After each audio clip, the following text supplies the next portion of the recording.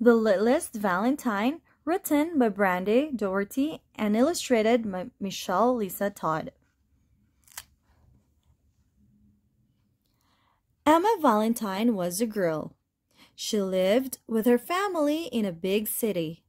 There were many people in Emma's family, but she was the littlest one.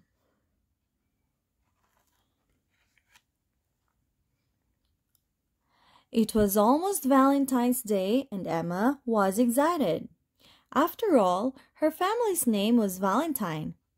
Valentine's Day was their favorite holiday.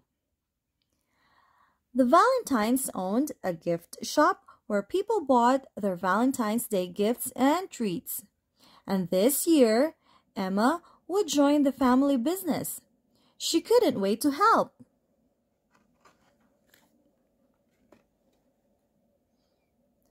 Emma joined her brother Elliot with heart-shaped balloons.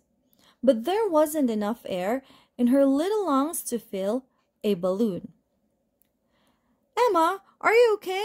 Elliot asked. You don't look so good. I'm fine, Emma wheezed. I think you're too little to help with the balloons, Elliot replied.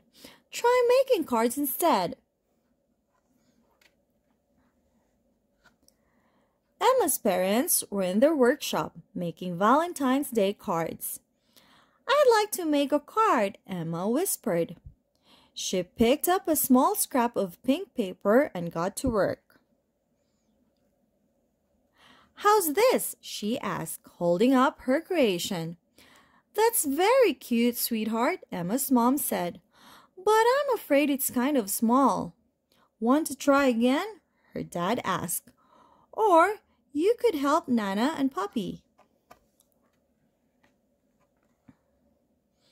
Emma decided to go to see her grandparents in the kitchen.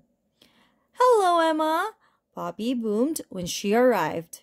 Here to make some chocolates? Yes, I am, Emma smiled.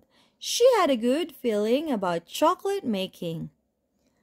Nana showed Emma how to squeeze chocolate onto a tray. Emma squeezed, but nothing happened. She squeezed harder. The tiniest drop of chocolate oozed out. Poppy handed Emma a truffle. You should try balloons, he offered. I already did, Emma sighed. Emma stomped outside. She was sad and a little bit grumpy. Emma knew there had to be one Valentine job she could do, even if she was little. Then Emma heard a noise. There, on the other side of the fence, was a puppy. He looked sad and a bit grumpy.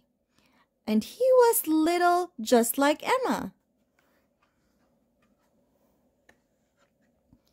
Emma approached the fence, but the puppy backed away. He was muddy and wet, and he didn't have a collar. It's okay, Emma said gently. Emma ran inside and came back with a small bowl of food. The puppy came right over. He was hungry. She opened the gate, then the puppy walked to the bowl to eat. Emma smiled. Nana and Poppy came out to see what was keeping Emma so busy. Can we keep him? Emma asked her grandparents. Maybe, na said Nana. Let's call the animal shelter first and make sure no one is looking for him. Emma led the puppy into the house. She ran a warm bath with extra bubbles while Nana called the animal shelter. Emma scrubbed and scrubbed. Soon he was shiny and clean. Nana came in. Looks like this puppy needs a home. Emma smiled. Your name is Eek, she told the puppy, and you live here now. Eek wagged his tail happily.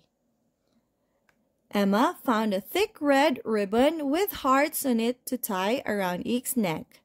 The ribbon reminded her that it was almost Valentine's Day. Then she had an idea. Come on, Eek, we've got work to do. Emma went into the kitchen and asked Nana and Poppy for help. They set to work making heart-shaped dog treats. Eek was the taste tester.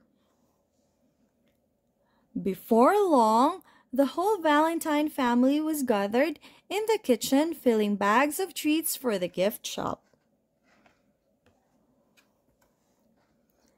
Emma's dad set up a stand in the corner of the shop for Emma and Eek to sell their treats.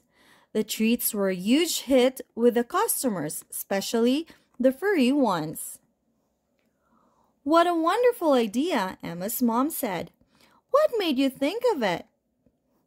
Everybody needs a little love on Valentine's Day, Emma replied. Emma had found her special Valentine job after all. But more than that, she had also found a special friend. The end. Thanks for watching and please don't forget to subscribe.